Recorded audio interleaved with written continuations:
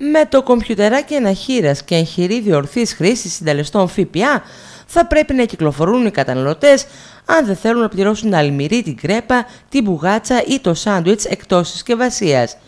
Η διευκρινιστική εγκύκλωση του Υπουργείου Οικονομικών με την οποία επιχειρεί να ξεδιαλύνει το τοπίο αναφορικά με τους συντελεστές που επιβάλλονται σε φαγητά και γλυκά ανάλογα με το αν καταναλώνονται εντός ή εκτός καταστημάτων σε τροπεζοκαθίσματα ή πακέτο, ζεστά ή κρύα, πυροδοτεί ιστορίες φορολογικής τρέλας.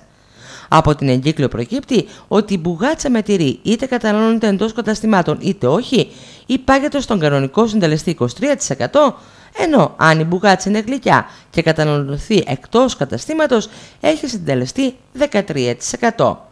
Αντίθετα, ακόμα και αν είναι γλυκιά, αν καταναλωθεί εντός καταστήματος, δεν γλιτώνει τον υψηλό συντελεστή 23%.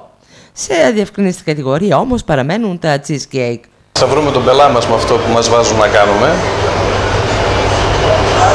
Γιατί μου φαίνεται ότι είναι εντελώς παράλογο.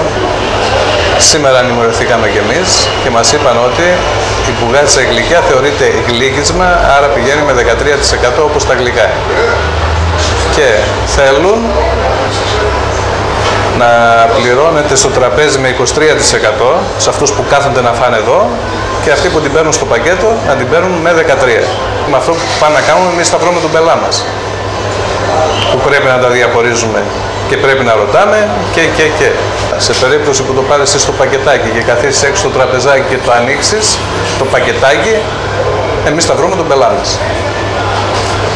Και αυτό μεταφράζεται σε πρόστιμο και σε λεφτά. Όχι μόνο εμείς, όλοι οι συνάδελφοι, όλος ο κόσμος.